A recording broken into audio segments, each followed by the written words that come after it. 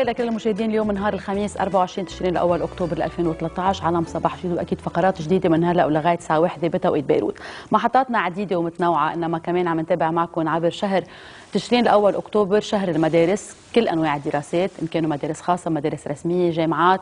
كل الأشخاص اللي بيشتغلوا بالقطاع الأكاديمي يعطيهم ألف عافية وكل الطلاب يعطيهم ألف عافية كمان أكثر أكيد لأنه بنعرف الصعوبات اللي عم بيواجهوها تغييرات كثيره عم بتصير حاليا بالمناهج الدراسية وأيضا عم نشوف كثير دخول ووصول الكمبيوتر والمعلوماتية إلى عالم الدراسه والمناهج الدراسية. هذا أكيد إن شاء الله يخفف عبء كثير كبير على الطلاب من إنه يحملوا شنطهم كل يوم ويروحوا ويتعذبوا فيهم مع مجموعة كثير كبيرة من الكتب اللي بنعرف للأسف الشديد عم عم بتسبب لهم أوجاع كثيره بظهرهم برقبتهم وبغيرها.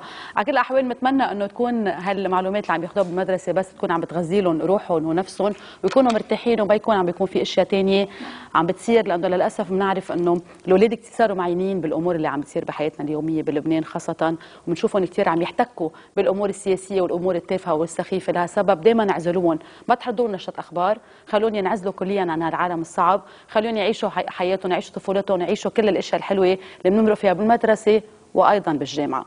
اليوم حبيت أتشارك معكم بشغلة كلنا يمكن هيك بنعيشها وكلنا دائما بنفكر إنه شو أكثر أستاذ أو مين أكثر أستاذ أو أكثر معلمة تركوا بصمة كبيرة بحياتنا. مين أكثر شخص بعدنا بنتذكره لغاية اليوم؟ في ناس بيحببونا من الماده اللي نحن بنشتغل فيها أو بنكون عم ندرسها وفي ناس للأسف بيكرهونا بالمادة لأنه هن بيكونوا يمكن ما عارفين يتعاملوا معنا.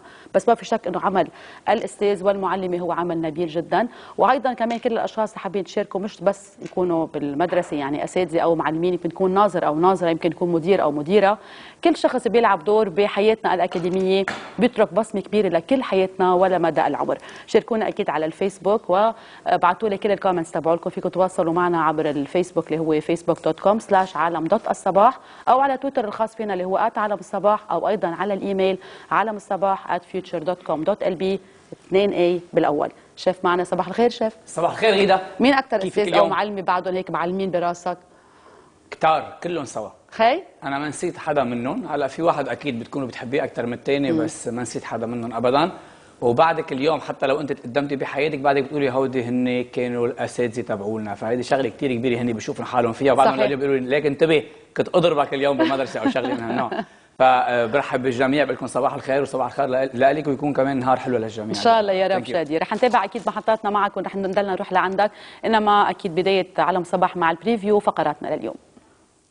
عالم الصباح بيتابع ملف العودة للمدارس ومشاكل التعليم بلبنان وبتبدأ فقراتنا مع كارمن والأبراج.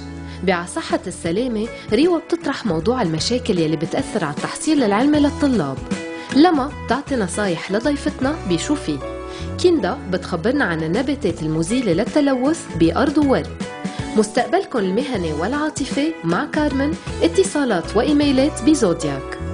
ضيفنا بيعرفنا على جائزة التصوير الفوتوغرافي العالمية. الحوار اللاعنفي بين الضحك والجد مع تانيا بخلينا نحكي. آخر الأخبار الثقافية والفنية مع زينة بأجندا ورشة ملح مع الشيف شادي على فتوتشيني مع الدجاج. فاذا رح لكم كمان وأتشارك معكم ببعض ال comments اللي إجوا على الفيسبوك. قائد عم بيقول دغري اللغة العربية. بدون صباح الخير بدون شيء دغري إنه هيئته كثير ترك فعلا انطباع كبير إن كنت مدرسة أو معلم للغه العربية اللي أكثر شيء هيئتها بعدها لهلأ الان كثير براسه وبحبها كثير نهله عم بتقول إنه هي ما بتنسى معلمتها ابدا للسنه الأولى ابتدائي وعم بتقول كانت تدرسنا كل المدارس لأنه ما كان في أطيب من قلبها ومعاملتها مع الأطفال. وكمان دائما عم توجه لها تحيات مع العلم إنه هي هلأ تخرجت من الجامعة يعني هيدي درستها من أكثر من 20 سنة وبعدها لهايه اليوم معلقة فيها. يعني فعلا عن جد أوقات أساتذة كثير بيطبعوا بذاكرتنا. دانا عم بتقول هي كثير بتحب كانت معلمتها الإنجليزي لأنه كانت انسبيريشن لها أو كانت مثل وحي بالنسبة لها وعلمتها كثير ومش بس درستهم إنما فعلا تركت انطباع كبير بحياتهم حتى بأيام الجامعة وأيضا بحياتها اليومية وعم بتقول إنه أنا بشتاق لها. جوزيف عم بيقول إنه هو كمان بحب كثير معلمته الانجليزي بس عم بيقول لأنه كانت مغرومة فيه مشان هيك بعده بحبها لغاية اليوم. ودانا عم بتقول ألمات وأيضا التاريخ. رح نتابع محطاتنا خلينا نشوف أبراجنا 12 لليوم وبنرجع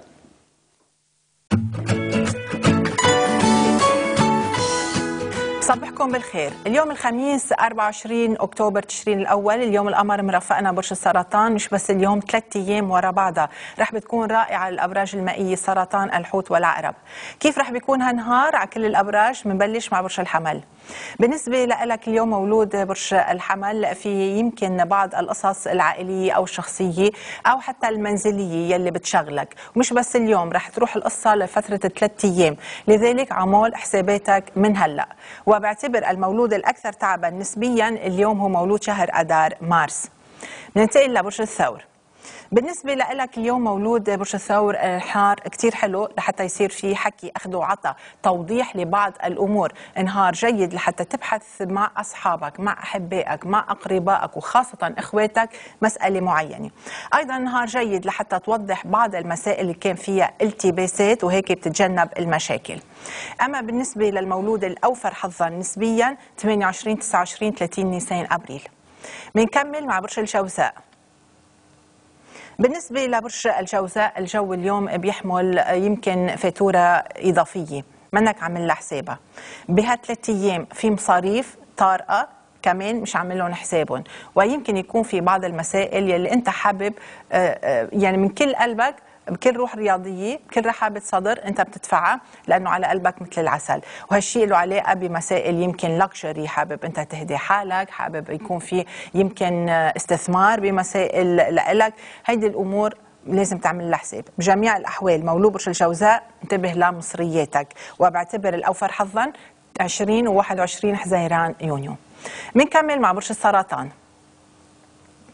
لفترة ثلاثة أيام ورا بعضها مولود برج السرطان القمر رح بيكون ببرجك بهالثلاث أيام هنالك تطورات حلوة هنالك انفراج هنالك تطمينات بتطمن بالك هنالك نظرة مختلفة للأمور رح بتكون نظرة إيجابية أكثر من هالثلاث أيام ال 30 يوم اللي مرقوا.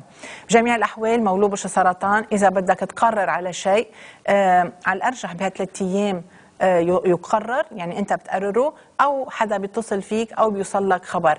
ببطل في مسائل علاقه وبالتالي هنالك تقدم كتير كبير بهالثلاث أيام لمواليد برج السرطان ابتداء من اليوم. والأكثر حظا اليوم مولود حزيران. وبدنا نضيف عليهم مواليد 11 12 و13 تموز يوليو. بنكمل مع برج الأسد. عفوا. بالنسبة لبرج الأسد عفوا. اليوم بكرة وبعد بكرة. ثلاث أيام مزعجة. هالثلاث أيام تتأخر فيهم طموحاتك تطلعاتك أعمالك أفكارك حتى ما بتعطي نتيجة ما بتقدر توصل لمطرح ما بدك. ثلاث أيام معقول تشعر فيهم بالتعب تراجع صحي توعك أو يمكن حتى حدا عندك بالبيت. ثلاث أيام عند مولود برج الأسد لا تصلح. ثلاث أيام لحتى أنت تغير تاخذ قرار حاسم خاصة إذا سلبي. بجميع الأحوال حلو هالنهار تقعد بالبيت أو بالمكتب وتبعد عن المشاكل كليا. بيبقى المولود الأكثر تعبا اليوم هو مولود شهر تموز يوليو. ننتقل لبرج العذراء. بالنسبة لبرج العذراء نهار كتير حلو بالنسبة لك نوعية الوقت حلوة بتسليك بتفرح بتعطي انطباعات حلوة بتزيد شعبيتك بتقوى علاقتك مع الآخرين بتقدر تصحح علاقة معينة تعتذر عن عن خطأ ما مثلا وبتحس إنه الناس عم تندمج فيك وأنت عم تندمج فيها. جو كتير حلو في أخذ وعطاء إيجابي لمولود برج العذراء. ولكن ضلك حذر جدا مولود 26 ل 31 آب أغسطس. ننتقل لبرج الميزان. بالنسبة لبرج الميزان نهارك اليوم يمكن يقول لك إنه stop أعطيه أفضل ما عندك انسى كل شيء إلا المطلوب منك. المسؤولية اليوم واضحة. بالنسبة للآخرين إذا أنت مش عارف حالك هونيك المشكل المشكل. بجميع الأحوال مولود برج الميزان أنا بعتبر هيدا نهار متطلب بيحمل توتر لكن أيضا بيحمل لك نجاح وبيحمل مال وربح. وبعتبر الأكثر تعبا 3 4 و5 أكتوبر. بنكمل مع برج العقرب. مولود برج العقرب ما حدا قدك. أول شيء الشمس ببرجك يعني أنت عم تبلش صفحة جديدة. صحيح زحل ببرجك لكن على الأقل في دعم معنوي بهالثلاث أيام لأنه السرطان القمر موجود برج السرطان برج كثير صديق لك بالنسبة لبرج العقرب اليوم نهار فيك تتقدم بخطوة كثير كبيرة طلب وتمنى. ما في شيء صعب عليك اليوم ما في شيء مستحيل حتى منافسك وخصمك بيختفوا اليوم. قوي قلبك وكرر المحاولات بقوة وما تقبل بشروط أو بظروف مش على ذوقك. وبعتبر المولود الأوفر حظا نسبيا 11 و 12 نوفمبر تشرين الثاني بنكمل مع برج القوس. بالنسبة لبرج القوس مر عليك يومين صعبين خاصة امبارح. اليوم صعب. لكن على الأقل اليوم فيك تناور فيك تحاور فيك تساير فيك تجامل. نهار يدعو إلى المجاملة يدعو إلى المرونة والتعاطي مع الأمور من منظار مختلف. ما فيك تفرض رأي. بطلت موجود بمرحلة بتقدر تفرض فيها الرأي. بدك تاخذ وتعطي مع احتمال أنك تضطر تتراجع أو تخسر شوي. انتبه لمسائل صحية انتبه لصلاحية الأوراق.